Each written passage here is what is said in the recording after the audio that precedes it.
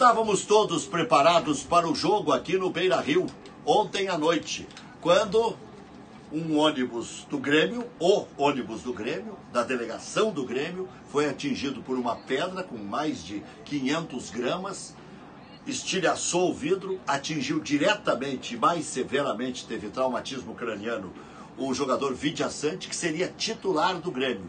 Imediatamente, o presidente do Grêmio já disse: Nós não vamos jogar.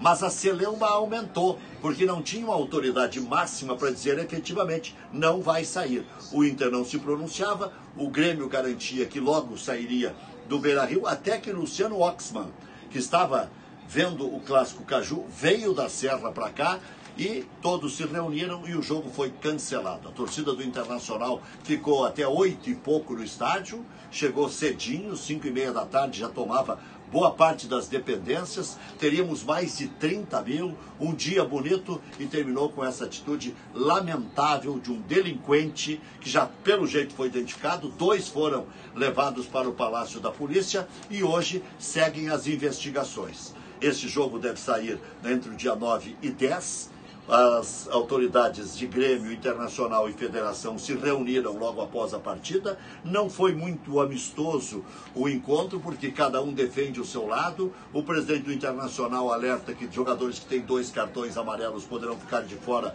de um Grenal do qual eles participariam. O Grêmio diz que a vítima é ele. O presidente do Internacional retruca dizendo que também é vítima em função de um episódio triste que hoje acontece com o Inter, amanhã acontece com o Grêmio. A verdade é que nós ouvimos muitas autoridades, o vice-governador, ouvimos representantes do Ministério Público, da Polícia Civil.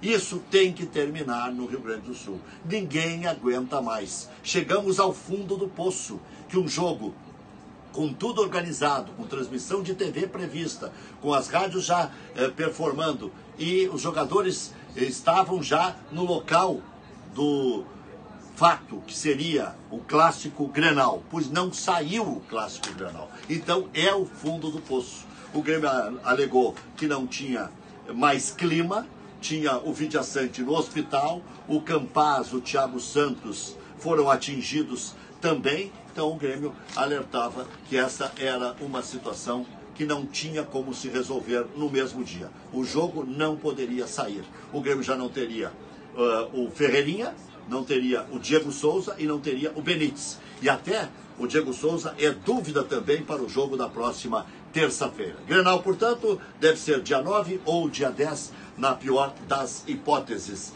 decide, decide a vida do Internacional, o Grêmio já está classificado. Poa Petker, na João Varig 2247, o telefone 3377 2413, 24 horas por dia cirurgias, ortopedia, neurologia, odontologia, exames, dicas, tudo na Poa Pet, que era a melhor clínica da Zona Norte de Porto Alegre. Dizendo que viu esse anúncio ainda ganha um mimo especial.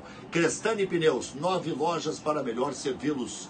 Dez vezes para pagar, pagar a maior distribuidora multimarcas do sul do país. Ativo, você na maior atividade sempre. Eu não fico sem o meu ativo. 0800 003 1500. KTO, aposte para ganhar. Aposte para se divertir, aposte só o que pode. KTO.com. Dúvidas? Vai no Insta, KTO Underline Brasil. Masper, contribui com o crescimento de mais de 90 prefeituras Brasil afora, livrando o prefeito, determinando como tem que ser as coisas com um software moderno utilizado pelo Dr. Milton Matana, da pela Assessoria. 30950588 para você ligar, contratar o serviço do Dr. Milton Matana. Open, sim, você pode sair do aluguel. Parcelas a partir de 799 e você pode somar renda com qualquer pessoa, pode ser da família ou não, desde que consiga chegar na renda que você precisa.